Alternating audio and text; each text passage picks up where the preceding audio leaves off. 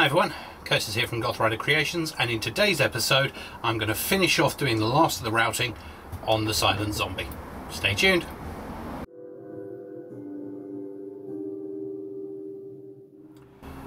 So, if you watched my last episode with the guitar show you will have seen I've done a little bit of tidying so uh, yes I know where most of my stuff is now I've got new shelves everything is tidy. I got rid of a giant pile of sawdust.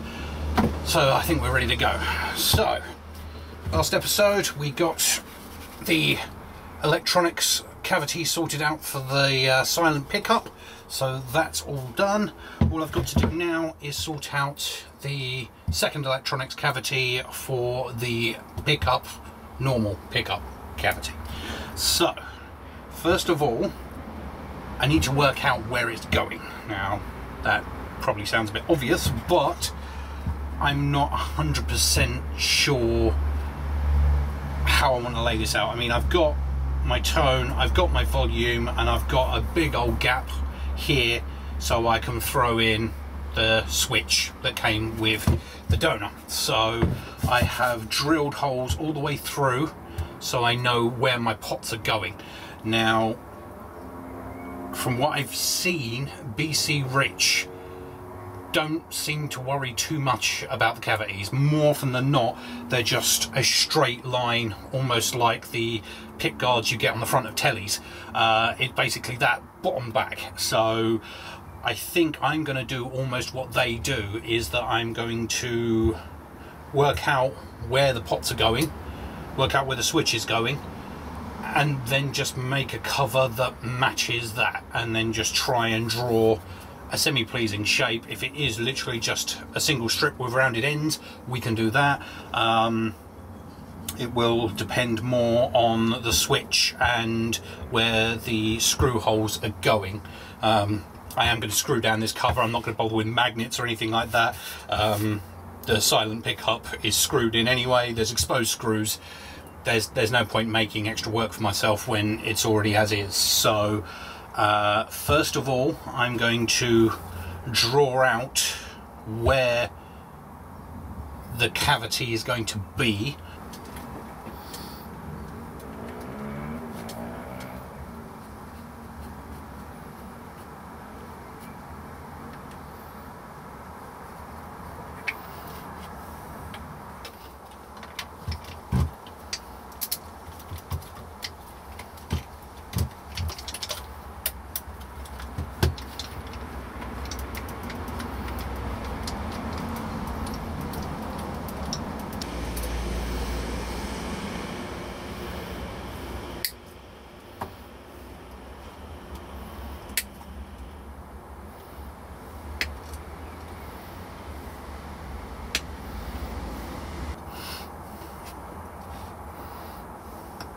Right, sorry about that.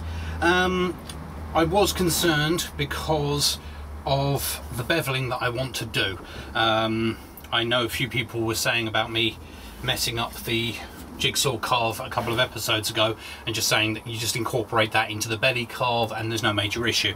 Now I do want to take quite a bit of weight out of this. Um, it is for Mrs. Goth Rider and I would like as light a weight a guitar as I can without going hollow body because obviously meant to be a silent guitar, make it hollow body, it becomes acoustic so it, it needs to stay solid but I want to try and remove as much weight as I can and that means my thought was to do some pretty steep carves maybe come in almost an inch in a way all the way round and then just really bevel in the carves from the front to the back and then that way I can remove that mass that way.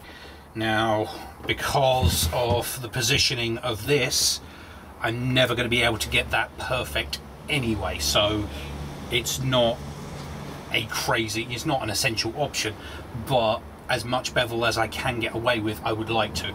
So obviously with the belly carve I'm going to go quite deep and then maybe I mean at the end of the day the electronics are the most important thing um, the carves on the back after that it doesn't matter that much um, I never quite understood why people were so obsessed with making sure that the back of the guitar looks better than the front. The bit you don't see people when you hang it on a wall when you're playing it. I never understood it myself. You know, it's horses for courses, but for me, if you're gonna make any compromises, make them on the back. But anyway, so what I've done is I have, fact, I'll show you on new side cam. Uh, I've just drawn a couple of circles from the Forstner bit around there, joined it together, double checked the switch is in good position, sorted. So the switch will fit in the depth um, as long as I get the route shallow enough. Um, and then all I'm thinking literally because this switch is so thin in here there is God, it's almost close to a centimetre either side because yeah this is 33 millimeters so yeah you've actually got about a centimetre either side. So what I can do is literally mark out four posts. In fact I grab a large drill bit.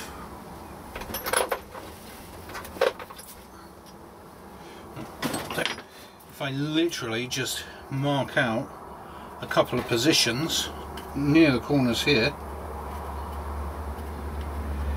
and these can become the screw posts.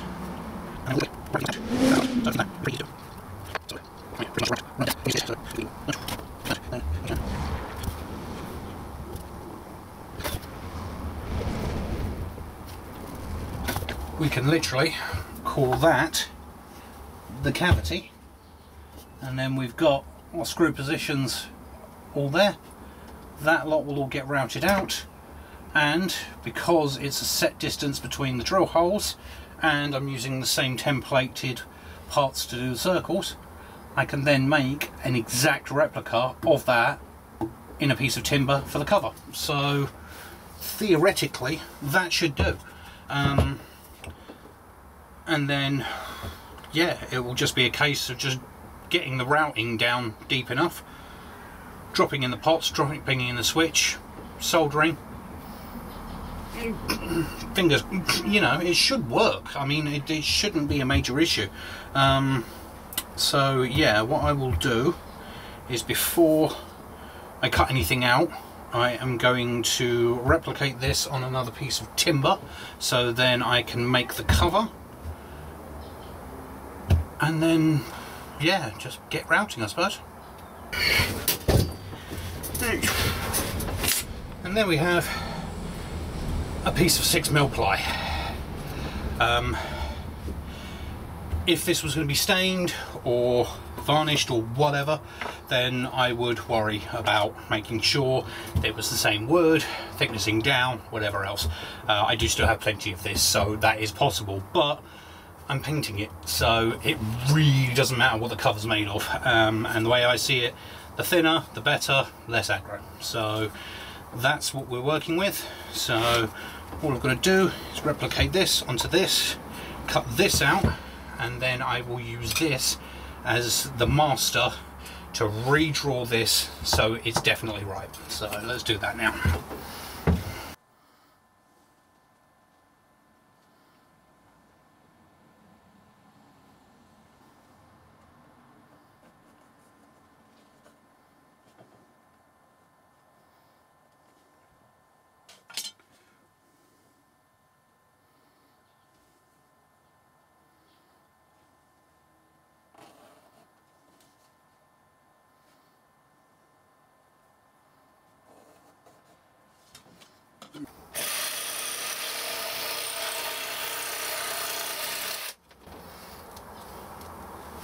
Yes, I'm learning to do test cuts now.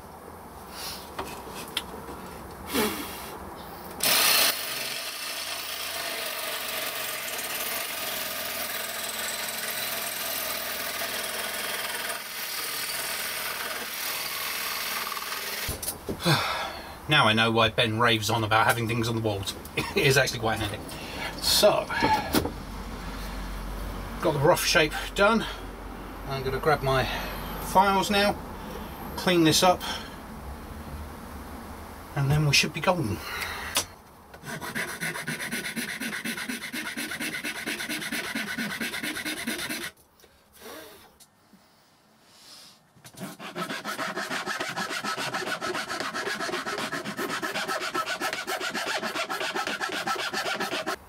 Right, so that's the basic shape all cut out and ready to go.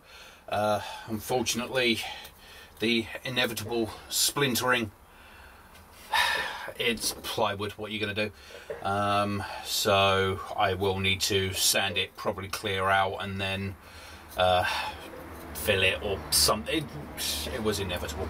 So that's all sorted. All I'm going to do now is grab a sheet of sandpaper and stick it to me cutting mat and then I can get this final sanded. Um, I know a lot of people say in the UK you can't get decent double-sided tape and the super glue and masking tape trick is the only way to go. It is a very good way to go, but if you don't have any super glue to hand, or it's a pain in the butt, or if you've only got blue masking tape, which is not very good for this, flooring tape, otherwise known as carpet tape. Um, I get this, I used to get this by the roll because I used to have to fit carpets, but um, yeah, this stuff it's not that expensive. It's about nine, maybe 10 pounds a roll, which might sound a lot compared to some masking tape, but this roll I have used for the last five years and I think I've taken about a meter out of it. So this will last you a decade maybe. Um, so yeah, it is really good for this kind of thing. It's you do get a little bit of residue, and people say that's always the reason not to use it, but it works and it's not a major issue. So um, yeah, if you need to stick something down like this, I would recommend it. It's definitely an option. So let me stick this down and then I'll get this final sanded and then we can work out the drill holes.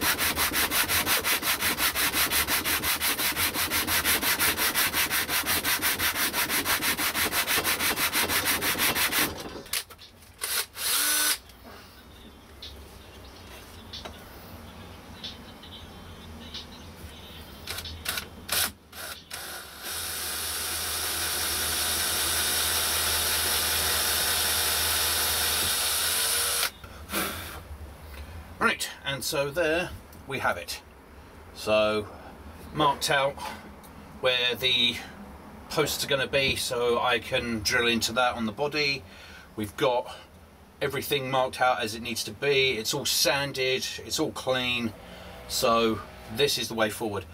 Now, I don't know why more people don't do this. Um, I'm assuming it's because you've already got the template, so you just route and you don't need to think about it. Maybe, but I've seen people. Um, I think it was uh, Ben Crowe who did a custom guitar build um, in his home workshop, and he routed out a custom cavity, and then spent about a day and a half perfectly sanding out and cutting out a cover to fit now, to my mind, why not work out what you want, make your cover, put the cover on the body, draw around it.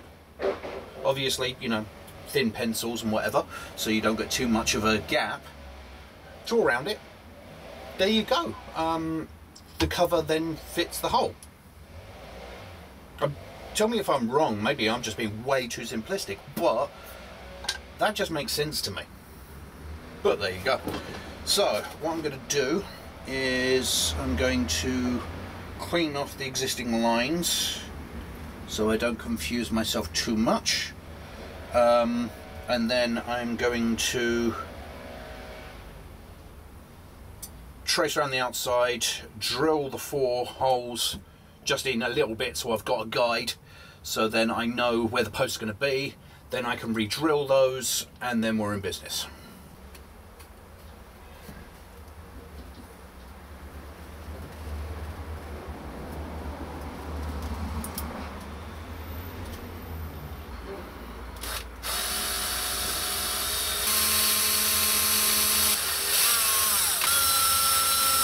Right, that's now marked up. And if you can see you can yeah. That's how far out the screw holes are. So that's probably why people do it the other way around. So thankfully I've not routed anything yet so I can just redraw these posts. So that's all ready to go. So I will get that redrawn and then I guess it's time for routing um, I'm gonna do this very, I'm not gonna be as gung-ho as I have been with the other routes on these ones because the other ones I know that they're kind of covered up by, you know, pickup rings and whatever else. I'm painting so I know I can get away with a little bit of, you know, either epoxy or filling if needs be. So that's not a major one. This, I actually want to get right. So um, I'm going to do the shoulder route first, so route out the whole thing to six mil. Um, although no, I'm going to lose the posts, but I have drilled them down far enough, so if I drill them a little bit more, then I can re-drill the posts, so that's not a major one. I can uh, basically freehand those. So yeah, I will take this down to the 6mm depth, make sure that the cover fits perfectly. Once that's done, then I can use the Forstner bit, drop down the three main sections, get that down nearly to depth, and then I will literally just go bit by bit, tiny bit by tiny bit by tiny bit, and just work my way all the way down. So yeah, and oh, because people were suggesting that uh, I might want to try and use them, I did actually get, in fact, Mrs. Gothrider bought for me, thank you very much, a whole pile of router bits. So I've got loads and loads of different options from flattening bits to edge cutting bits, but most importantly, I now have ooh, some bearing bits. So that is going to really change things up. So I will use the Forstner bit to get down. I will do an initial edge doing my freehanding and then I will, for the actual going down full depth, I'm going to use a bearing bit. Um, purely because I don't want to be taking my focus off the most important thing, which is not going down too far.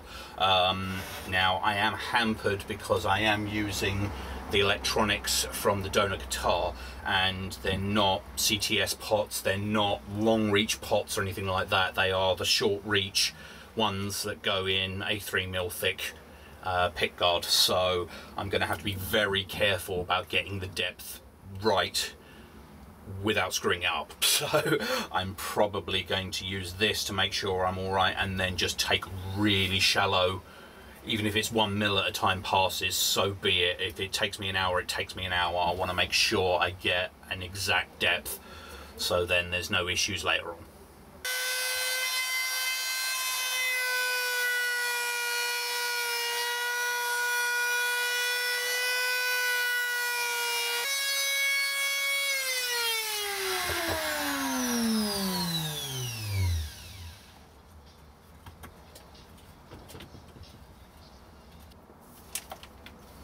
Oh, right, so there we go. One cover done. Now it is tight. I've only got a little bit of gap in the center sections. I'm going to have to widen out the outside edges, but I'd rather do that slowly than take too much. So I've got about a mil gap, well, about half a mil gap either side of the flats I'm going to try and get a consistent gap all the way round, but that's at a later date. I'm not concerned with that in the slightest. So all we've got to do, and this is why I put the holes in first, is that I can just thread a couple of screws in there and pop the cover off and not have to worry about digging it out. So that's that, and that's all done. So all I've got to do now is just hand draw in the points for the screws and then we can get the Forstner bit and start going down to depth.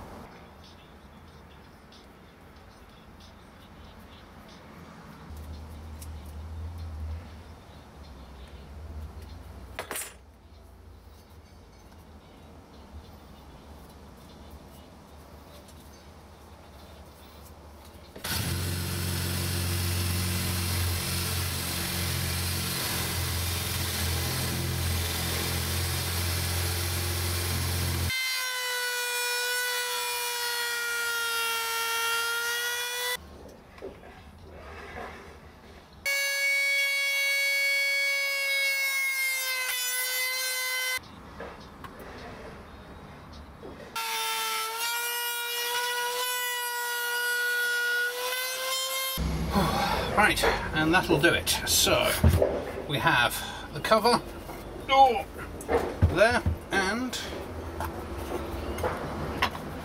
we're all routed out. Now, we've still got about 8 mil thickness left on the top. Um, I don't want to go too much further until I know for sure exactly where the electronics are going and how. Um, but yeah that that will easily house the switch uh, once I've cut the slot for it. Um, and it will house the pots. So what I'm probably gonna do is literally once I'm more further on I will just use a Forstner bit and then just hand drill down millimeter by millimeter just for the pots because that's the only thing that needs it. Um, if it turns out that there's not enough throw on the switch. Because I mean you've got even with the knob on there you've got a good 10 mil on there. So theoretically that could go through and then I'm only using three positions on the switch rather than the five.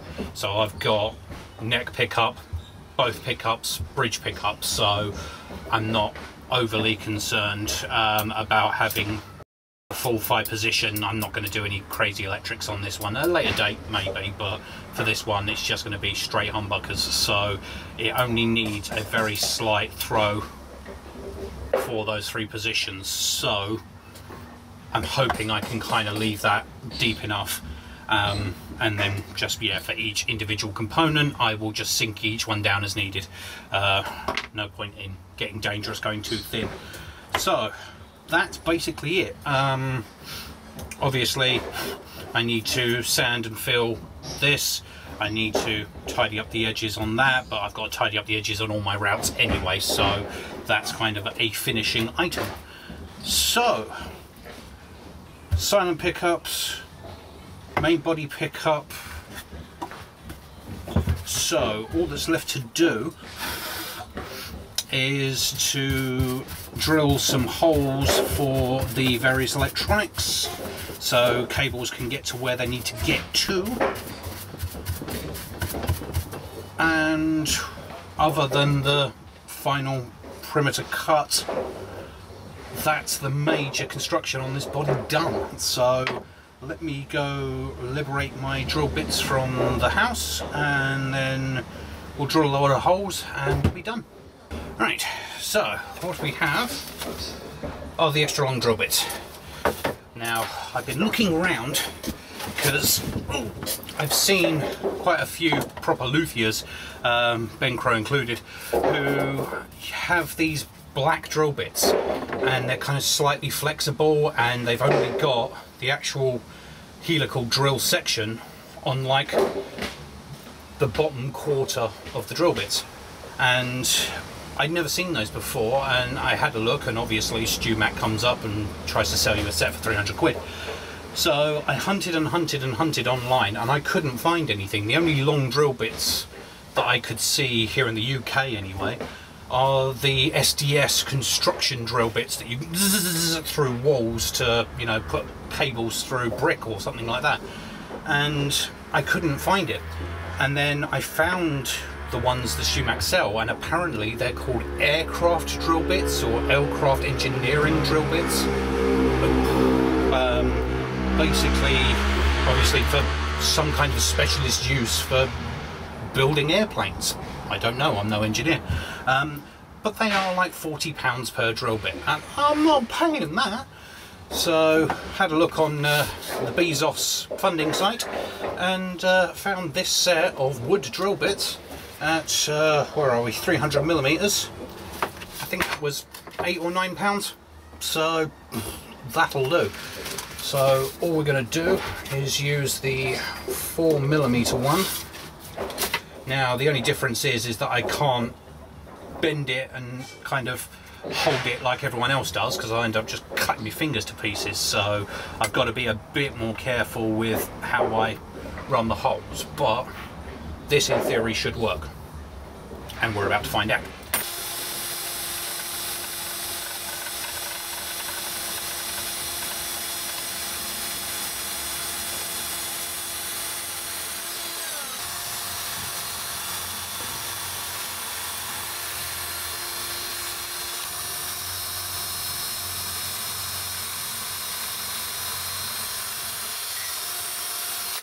So that I think is it. Um, I've still got to do the holes for the piezo pickup and for the bridge ground anyway but I'm still deciding what I'm going to do with that. Technically the piezo pickup is not designed for an electric guitar bridge so I'm going to have to do something custom and I like to say custom and fancy, some people might say bodgy, mm, we'll see where we go.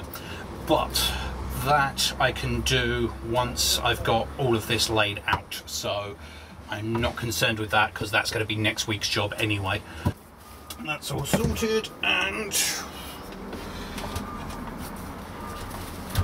just because I can that is